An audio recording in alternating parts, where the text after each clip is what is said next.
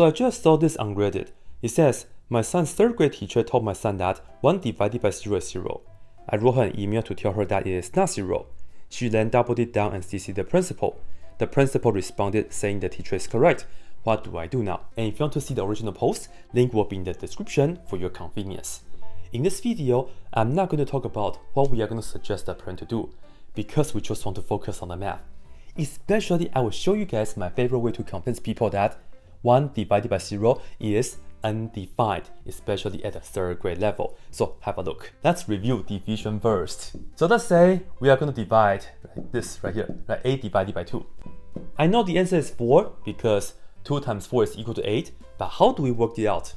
If this number is you know, bigger, well, we can do long division, my favorite. You put the first number inside, and then put the second number on the outside. Yeah? And then you ask yourself, 2 goes into 8 how many times? And the answer is 4. 4, you put it here, and times 2, it's 8. And then you subtract, 8 minus 8 is 0. This right here is the remainder. If the remainder is 0, you are done. And that's the answer. 8 divided by 2 is 4. Done. Alright, let's switch places. If we have 2 divided by 8, what do we do? Again, long division. Put the 2 inside, and then put the 8 on the outside. This time though, 8 goes into 2 how many times?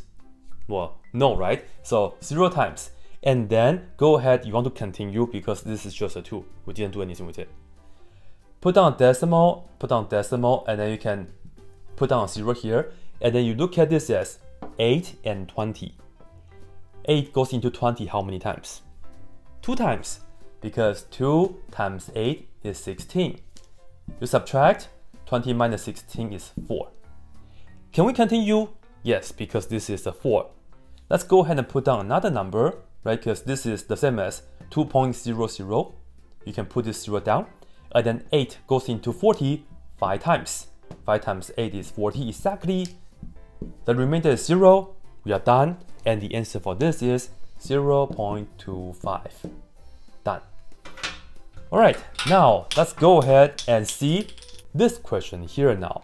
If we have 1 divided by 0, hmm, how do we do it? 1 goes inside and then 0 goes on the outside, right? Well, is it possible for us to think about a number and it multiplies to 0 and we get 1? Can we do that? Can we say the answer is, let's say 17. 17 times 0 is what? Still 0, and if you subtract, 1 minus 0 is 1 it's still 1. That's just this. We didn't do anything, right? So, because of this, you see that 17 is not the answer. Mm, but if you try another number, let's say, if you say 0, if you put 0 times 0, it's 0. If minus 1 minus 0 is 1. This thing right here is still 1. So in fact, no matter what you put down right here, multiply with 0, you always get 0, 1 minus 0 is 0, no matter what you try, this will, will, never work. You cannot find a number, multiply with 0, that will give you 1. So in fact, 1 divided by 0 here is, I don't like to use equal sign when I say undefined. This right here is undefined. Meaning there's no answer for this. In fact, when you have any number divided by zero, it's always going to be undefined. This is just computation. We're not doing calculus or whatnot, all right? Well, some people get mixed up with hmm, undefined or zero. I think the reason is because of this. If we have this question instead, 0 divided by 1. Well, long division, you put down the first number inside, put down the second number on the outside. In this case, can we do something? Yes.